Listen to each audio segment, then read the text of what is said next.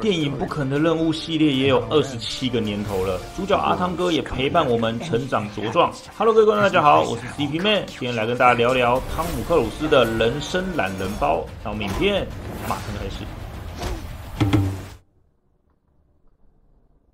汤姆克鲁斯出生于一九六二年七月三日的美国纽约州雪城，身高一百七十公分。他的父亲是一名电子工程师，母亲则是特教老师，有英国、德国、爱尔兰血统。阿汤哥小时候在加拿大长大，第一次表演是国小四年级的戏剧课，也是那时让阿汤哥对表演产生了兴趣。一九七一年，阿汤哥跟着妈妈来到美国生活。那时，他有短暂加入过方济会。阿汤哥十八岁那一年，开始在一些电视剧中演出。首部电视作品是《无尽的爱》中一个跑龙套的角色。直到一九八三年的青春喜剧电影《保送入学》中担任主角，知名度才逐渐水涨船高。而这部片的卖座，也让他成为全美青少年的偶像。而之后，一九八六年的《捍卫战士》更是开启了阿汤哥演绎的巅峰之路。这部戏上映后，也让美国空军的招募电话接到手软，还有卖到缺货的雷朋太阳眼镜。接下来真的是随便演随便赚的阿汤哥，宛如成为八零年代的票房保证。而在演出一九八八年的电影《雨人》时，广受影评赞许，让他的演技备受肯定，不单只是一位奶油小生而已。然后靠着电影《七月四日诞生》和《征服情海》获得金球奖跟奥斯卡奖的提名。这之中演过各种不同类型的电影，当然也包括第一集的《不可能的任务》。直到一九九九年，阿汤哥发现他的定位应该是全球动作巨星，所以之后演出的电影大部分都是属于动作电影。果然也找到了自己的市场定位。曾获得三次金球奖和荣誉金棕榈奖以及奥斯卡金奖提名的阿汤哥，虽然他从未获得奥斯卡奖，但他对电影界的贡献是毋庸置疑的。目前主演的电影，截至二零二三年二月，全球票房高达一百一十五亿美元，扣除复仇者联盟系列的演员，是目前史上最高的，而且还不包含不可能的任务七。汤姆克鲁斯出道时间很长，其中一个很有名的脱序事件，是在二零零五年上欧普拉的节目时表演跳沙发。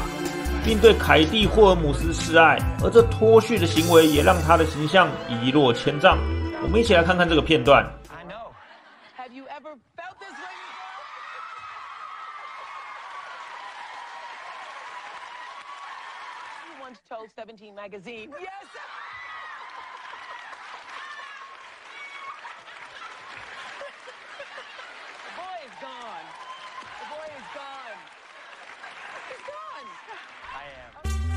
现在回头看，其实还蛮有趣的啦。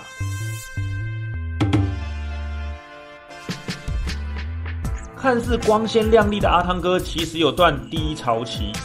一九八六年到二零零六年，可以算是阿汤哥人生最辉煌的二十年。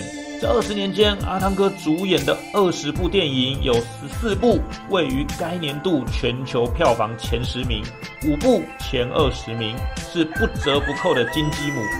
但二零零六年开始，隶属派拉蒙底下阿汤哥的制作公司，那时候制作的电影票房不如预期的好，再加上跳沙发事件，人气更是直直落。而派拉蒙除了要支付片酬分红外，每年还得负担阿汤哥制片公司约一千三百万美元的开销。为了不再烧钱，派拉蒙决定跟阿汤哥解除合作关系。当然，还有另外一个说法是，双方在 DVD 的分润产生了分歧，但都没有实质证据证明。直到二零一一年的《不可能的任务四：鬼影行动》，双方才又再度合作。这部片也可以算是重新合作后阿汤哥的入学考，甚至有谣传原本派拉蒙想让鹰眼取代成新的主角，所以才会让他在第四集中加入。不过最后，《鬼影行动》取得了影评以及商业界的大成功，阿汤哥也一扫阴霾，重回电影舞台。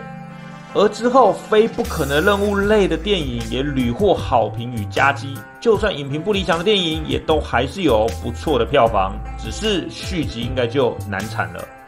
而近期派拉蒙想要在上映四十五天后就让《不可能的任务七》进入串流平台，身为极度希望影迷们去电影院看电影的阿汤哥当然不愿意，他希望维持传统，至少三个月后才算下档。我看这对派拉蒙应该就是一个不可能的任务了。阿汤哥总共有三段婚姻：一九八七年和咪咪罗杰斯结婚，两人于一九九零年离婚。但他同时也是把阿汤哥引领进入三达基教的人。同年认识的澳洲美女妮可基曼，两人也结婚，并于二零零一年离婚。又同年认识了西班牙正妹潘尼洛普，两人交往，这段关系维持了三年，不过并没有结婚。二零零五年，也就是知名的跳沙发事件同年，阿汤哥跟凯蒂霍尔姆斯结婚，并生下了漂亮女儿舒丽克鲁斯。两人在二零一二年离婚。离婚后的阿汤哥也是很负责任，每年支付四十万美元给凯蒂照顾女儿，而且还不包含医疗、保险、教育跟多项杂志的开销。这部分阿汤哥倒是很大方啊。而目前，苏丽也正在纽约攻读时尚相关领域的专业。由于三达基教在某些地区或是国家被认为是邪教，所以我们尽量保持客观、简单、白话的去阐述其对阿汤哥的影响。有兴趣的人可以自己 Google。其中一个争议是，阿汤哥曾表明，精神病学不应该使用药物治疗，精神病学是一种伪科学。并发表声明，认为精神病学不合法。而这也是二零零五年阿汤哥除了跳沙发外，另一个让人诟病的事件。当时精神病学的专家则跳出来表示，阿汤哥部分是对的，精神药物确实不应该被过量使用，生活方式的改变也是有助于改善患者的状况。但他身为名人，不应该这样说，这样会增加患者的负担。导致他们不愿意接受治疗，并且觉得丢脸跟害怕。另一件事则是，根据八卦杂志报道，三达基教会曾干涉阿汤哥的交友，要为阿汤哥选择适合他的另一半。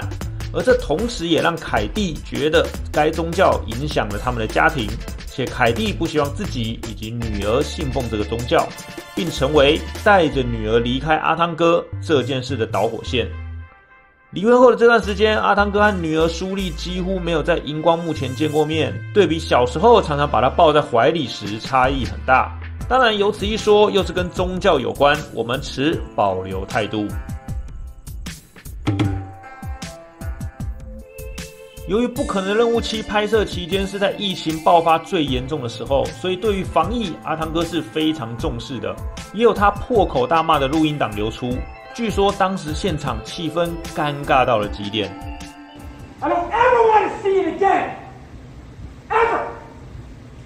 And if you don't do it, you're fired. And I see you do it again, you're gone. And anyone on this crew does it. That's it. You too. And you too. And you. Don't you ever do it again. 事后访问阿汤哥，他仍坚持当时的生气是对的。不过他也表示，确实可以用更好的沟通方式。阿汤哥说道：“考虑到一起工作的人，还有这个产业，我必须这么做。我们终于可以开工了，这是很让人激动的。而疫情下还可以拍戏，很多人正看着我们并学习我们。这份工作创造了上千万的就业机会，所以我们必须严谨。”网友们虽然知道阿汤哥生气，但也纷纷表示赞赏与认同。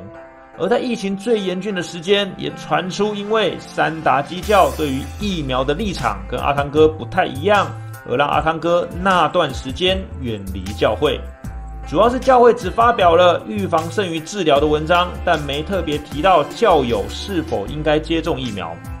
导致很多教友不愿意施打疫苗，甚至不愿意接受正规的医疗救助，让当时疫情无法有效的控制。不过也有人说，阿汤哥只是严守防疫，所以鲜少去教会拜访而已。但不论如何，阿汤哥也知道教会在世俗的认知不是很友善，所以近几年也几乎鲜少在大型荧光幕前宣扬教会理念。不知道大家是怎么看待阿汤哥这位演员的呢？我是觉得六十岁还在跳上跳下、飞檐走壁的卖力演戏是值得赞许的，至少我会去电影院支持他啦。